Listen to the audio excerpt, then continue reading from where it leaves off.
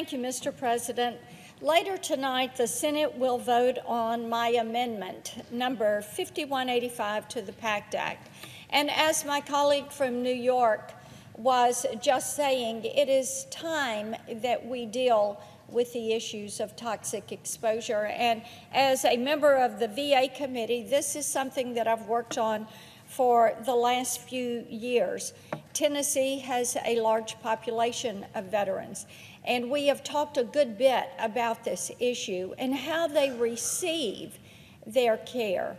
One of the concerns that we had discussed in committee, in our hearings, uh, we have discussed it with our VSOs, we've discussed this issue as we have talked with veterans who have come to us and to our meetings, is their frustration with having access to the queue, but not getting access to the care. And I think that we have to look at this and say those are very different. Now, I join our veterans in being frustrated with the fact that there's access to the queue to get on that wait list, but not getting that care.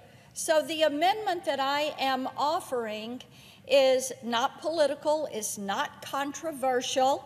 It is a simple but much needed improvement to the PACT Act that will allow toxic exposed veterans to gain access to community care to ensure they have a speedy process to care. The amendment is critical to the success of this program, and we all want the program to be successful. But what we know is that the VA is not capable of implementing the PACT Act as it is written. They have neither infrastructure nor personnel to do that.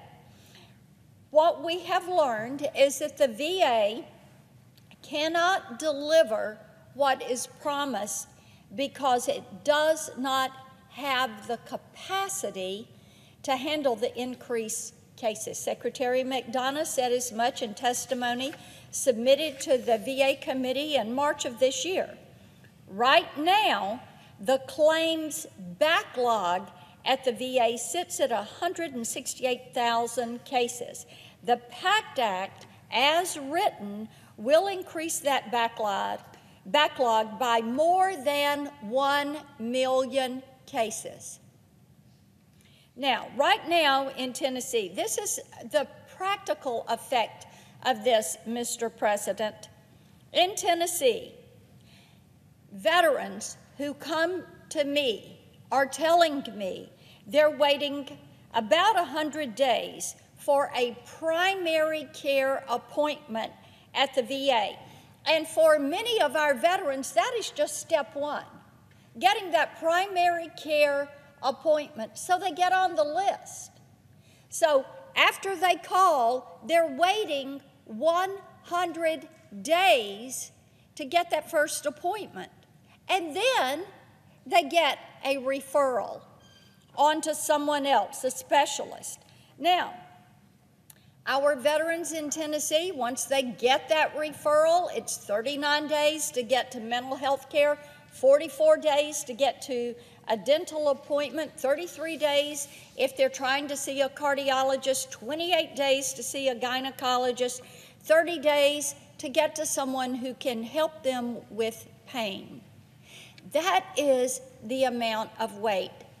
To me, that is unacceptable, completely unacceptable. My colleagues on both sides of the aisle know many, if not most, of these veterans who have toxic exposure are deteriorating rapidly.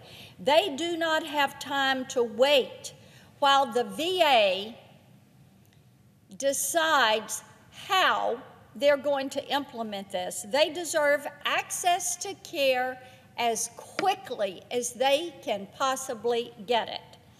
We are so close to getting these veterans the care that they deserve. But if the PACT Act is going to work for veterans, we need to step up and give them access to community care. My amendment will open up that access, it will make that an option so they don't have to struggle through waiting in the queue.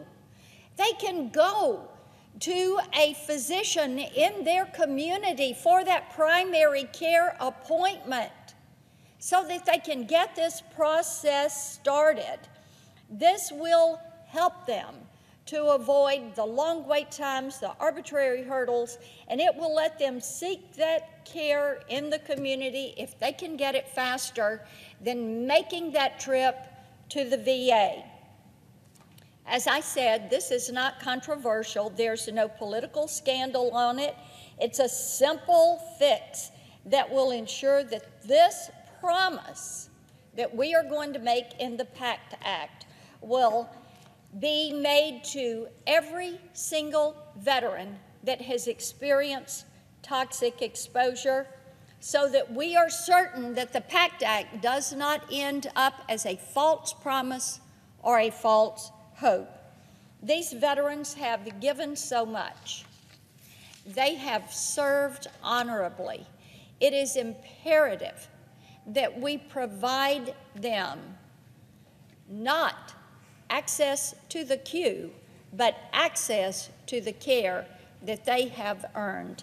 Thank you. I urge my colleagues to vote yes on the amendment when it comes up for a vote later this evening. I yield the floor. Senator from